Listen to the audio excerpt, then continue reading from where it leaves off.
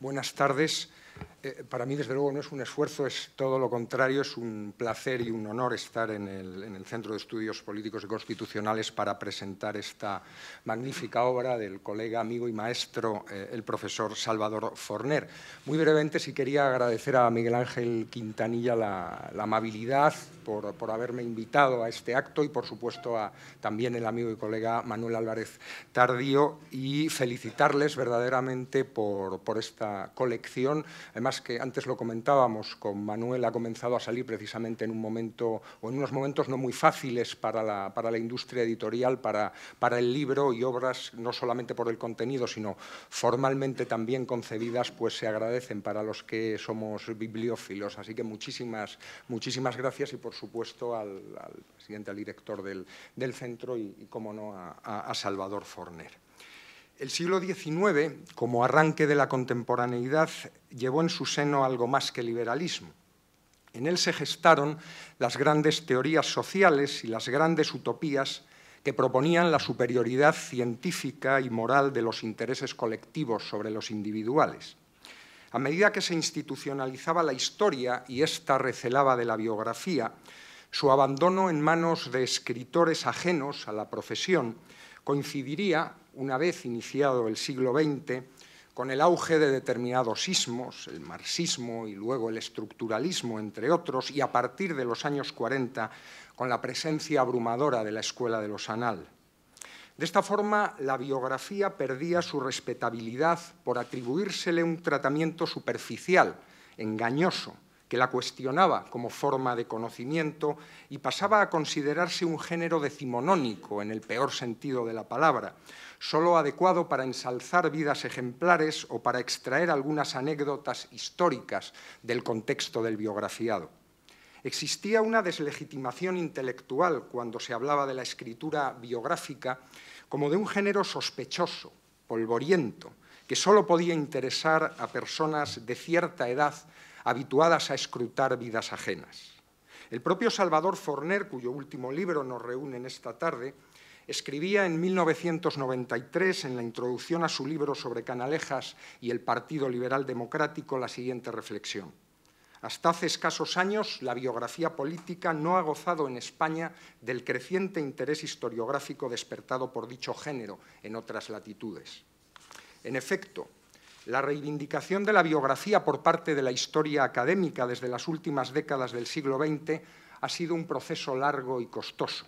El retorno definitivo no se produjo sino hasta la recuperación de la historia política y el desarrollo de determinadas corrientes de la historia social y de la microhistoria reivindicadoras de la capacidad del individuo para actuar sobre las condiciones de la realidad que lo circunda así como de la necesidad de recobrar el valor de la historia en cuanto a narración. Así pues, la biografía regresaba como un medio lleno de potencialidad para emprender el estudio del sujeto en toda su complejidad, así como de sus relaciones con las circunstancias que lo rodean y moldean y sobre las cuales él, a su vez, actúa. Esta recuperación de la biografía vino acompañada de un profundo cambio en la metodología de trabajo y hasta en los objetivos que se trazaron los nuevos cultivadores del género. No se trataba únicamente ya de diseccionar la personalidad del biografiado, siempre escurridiza, sino de fijar las líneas maestras del momento en el que se mueve mediante el esclarecimiento de su historia personal. En 1969, un maestro de contemporaneistas, el profesor Jesús Pavón, adelantándose en buena medida a los acontecimientos, había expuesto dos modelos de investigación biográfica.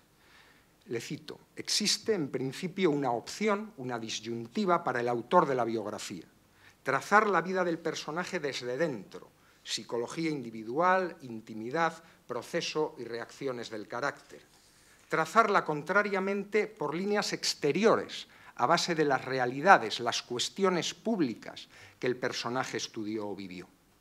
Con todo, no creemos que estas perspectivas sean irreconciliables y menos aún contradictorias. El mejor ejemplo de ello es esta obra que presentamos del profesor Forner, que no ha desaprovechado las posibilidades que le brindaban, por un lado, su profundo conocimiento y la larga experiencia en los estudios de la historia política del siglo XIX español, y por otro las abundantes y variadas fuentes archivísticas que sin aturdir al lector ha manejado con gran acierto. La elaboración posterior de estos materiales, con un estilo ágil y ameno, a la par que riguroso, nos ofrece una obra meditada, perfectamente articulada, capaz de engastar la faceta pública de don José Canalejas en las décadas que sirvieron de bisagra entre los siglos XIX y XX. No había tenido gran fortuna Canalejas como objeto de tratamiento biográfico. Algo parecía intuir poco después de aquella fecha fatídica de noviembre de 1912 el diputado tradicionalista Manuel Senante, que en su interpelación al primer gobierno romanones declaró el hombre, el muerto, a juicio mío, que siempre fui adversario político suyo, merecía mucho más. Sin duda, don José Canalejas merecía mucho más, independientemente del juicio que su actividad política suscitase, viciado en demasiadas ocasiones por lugares comunes, pensemos en su anticlericarismo, que han tendido a oscurecer su figura. Frente a estas simplificaciones, Salvador Forner describe con precisión la evolución política del ferrolano desde la izquierda del liberalismo hasta convertirse en gobernante moderado, es decir, el proceso por el que un hombre, imbuido profundamente de los principios revolucionarios de 1868, despertó a la problemática realidad de la restauración a la que hubo de atender. Labor ardua esta por la práctica inexistencia de trabajos sistemáticos sobre su pensamiento político.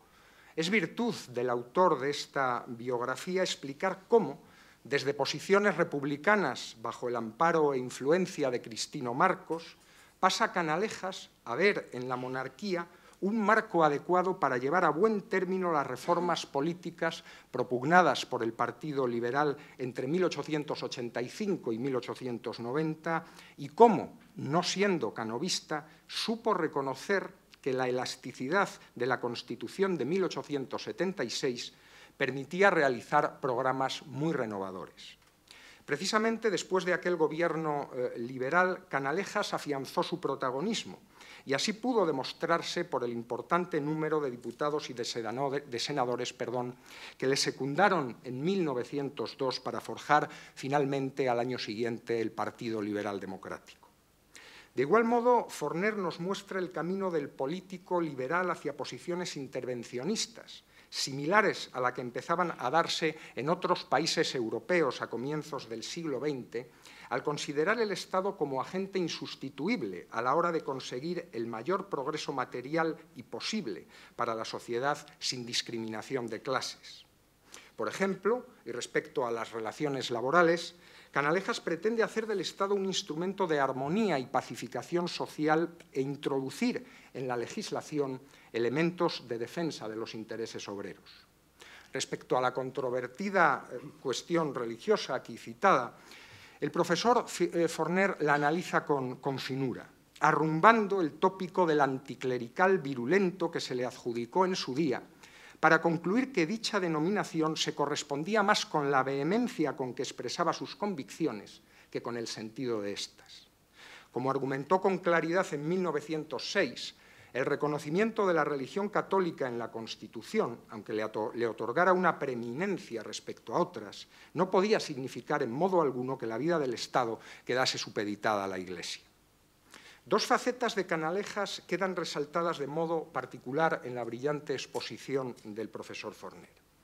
En primer lugar, cómo los principales problemas de la España que le tocó vivir le fueron planteados y tuvo que enfrentarse a ellos. A las relaciones entre Iglesia-Estado y a la cuestión social antes citadas se unieron las movilizaciones obreras, Cataluña, la división en las filas liberales y el acoso conservador, Marruecos, las algaradas republicanas. Según dejó escrito en una ocasión, había dos formas de hacer política.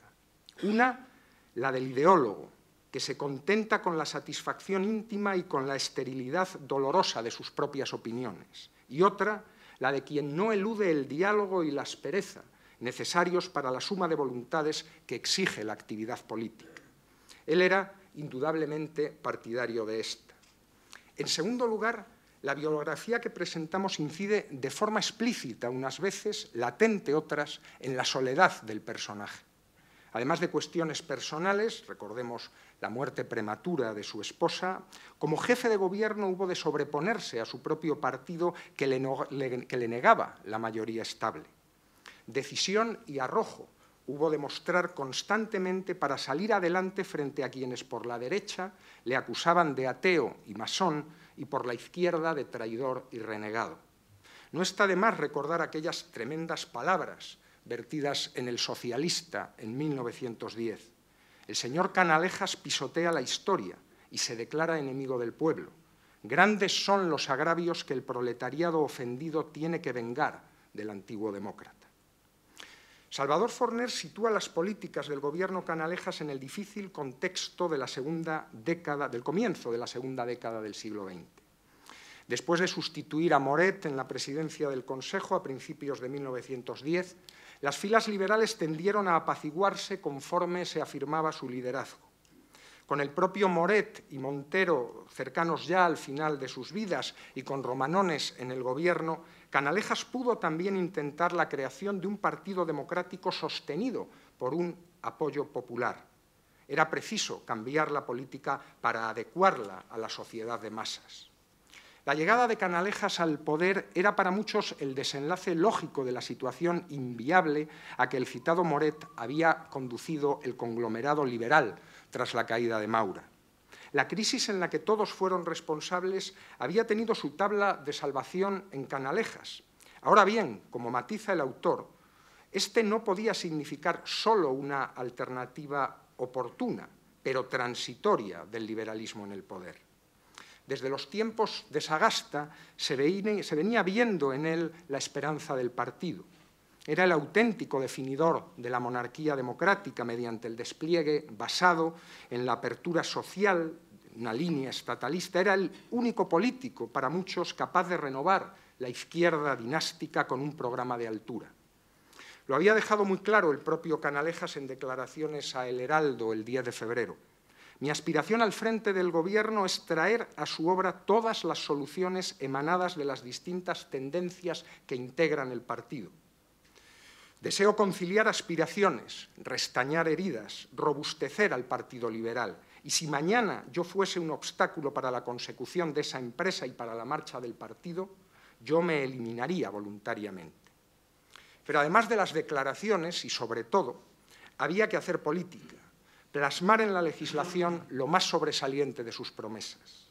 Como hemos señalado, Canalejas se mostró firme en la solución de los problemas de la Iglesia mediante la ley del candado y una, una, vez resuelta la cuestión minera, abriendo las puertas del Estado a la mediación en los conflictos laborales, en 1911 suprimió el impuesto de consumos y modificó el sistema de gravámenes sobre la contribución industrial y la riqueza rústica y urbana modernización y europeización parecían eh, aunarse en un programa de acción concreta al que los intelectuales de la generación del 14 dieron un cierto margen de confianza ante las inmensas posibilidades que habría. Podemos traer aquí a colación a Ramón Pérez de Ayala, convertido en uno de sus más fervorosos valedores desde la revista Europa. Su palabra es, decía, sin duda la del léxico más vasto que hoy conocemos. Su sintaxis gallarda y castiza, su ademán trae el decoro clásico que le falta a don Antonio Maura. Y además, añadimos nosotros, contundencia en la política exterior al ordenar, sin saberlo sus ministros, la ocupación del Arache y Alcazarquivir en junio de 1911 para contrarrestar el avance francés por el sur de Marruecos, firmeza recompensada pocos días después de su asesinato con la aprobación de un tratado hispano-francés, un auténtico éxito internacional. No hubo tiempo para mucho más. La muerte de Canalejas, asesinado por un anarquista en noviembre de 1912, reabrió la crisis en el funcionamiento del turno, mal cerrada en 1909. Con clarividencia escribió el duque de Maura, la muerte del caudillo demócrata impregnó a la multitud más honda e intensamente que ningún otro de los atentados anteriores o posteriores contra jefes de gobierno. La estentórea protesta atronó a Madrid durante la tarde del entierro, pero las exaltaciones de civismo no suelen trascender aquí de las gargantas a la conducta, y desvanecido el clamoreo, se olvidan las lecciones del crimen luctuoso. Al margen de lo que pudiera haber ocurrido, mm, si dicho crimen no se hubiera producido, lo cierto es que, como bien señala el profesor Forner, tras la desaparición de Canalejas, la restauración inició su declive definitivo. No habrá ya otro ni otros políticos con el criterio y la voluntad para defender las posibilidades del desarrollo democrático del régimen. La restauración en que Canalejas se encuadra podrá ser, como cualquier otra situación histórica, objeto de elogios y de severas críticas, pero será difícil negar a muchos de sus artífices y protagonistas, y entre ellos a Canalejas, la capacidad para gobernar, la competencia administrativa, la honradez y el amor a España. En palabras de don José, España, tal como está, con todas sus imperfecciones, con todas sus ansias de renovación, muy desproporcionadas acaso con sus medios, es el punto de partida de nuestra obra política. A ellos, a Canalejas, será imposible negarles aquella actitud que residía para Napoleón, en que residía para Napoleón la suprema virtud del que manda, la de estar dispuesto a perder la vida si tal es el riesgo de la obra. El libro de Salvador Forner, estoy convencido, no pasará desapercibido en nuestro panorama historiográfico. En él ha alcanzado ese conocimiento de ser histórico propio de todo hombre digno de todo hombre de altura intelectual que Heidegger denominó historicidad. Muchas gracias.